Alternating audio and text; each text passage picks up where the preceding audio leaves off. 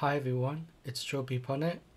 And welcome to this new video on my Hardcore Ironman Lumby Only series. So in this episode I'm going to be going over ways you can avoid burnout. The main way is to just not play if you don't feel like playing, but if you want to get experience whilst not having to put much effort in, I'm going to go over some ways you can do that for me, the best way is smithing, and I'm sure that if any of you have any region locked accounts, I hope you have access to smithing, and you can just queue up unfinished items, and then you only have to click once every four minutes, and you'll be able to gain slow smithing experience.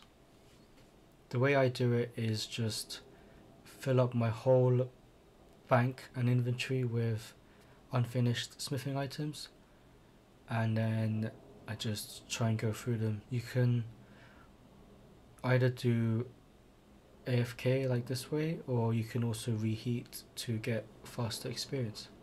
Another way is to play on mobile which is also pretty helpful because you can play on the go as well, or you can even play whilst doing some chores, or even if you're lying down relaxing.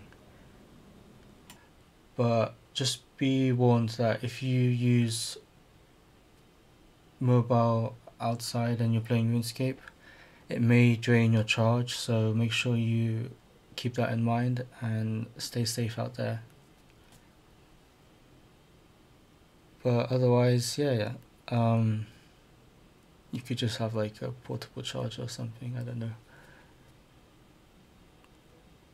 I personally don't really play RuneScape out outside much, like on the bus. I'm not that like efficient, but you know, if it's a long journey or you know, you can just get some gains as well. Well, I'm gonna open one of these gift boxes and nice, I got a caramel cup I wish I could eat this. Mm, caramel sweets are so good. I'm just heading to the lodestone because there is a Valentine's Day event happening. I'm going to catch one of these sprites and see what reward I get. I reckon it's going to be a sweet. Let's check it out. Nice. I'm going to open this up and see what I get. Awesome um, hazelnut praline. I reckon I'm gonna eat one of these chocolates each time I get a 99.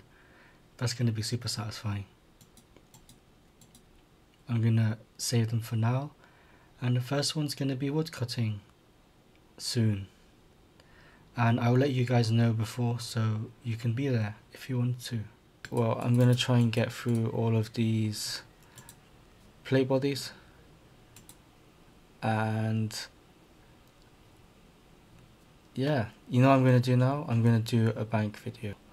So here is my bank. It's pretty much the same. Yeah.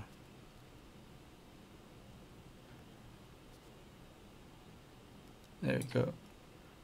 And the bank value is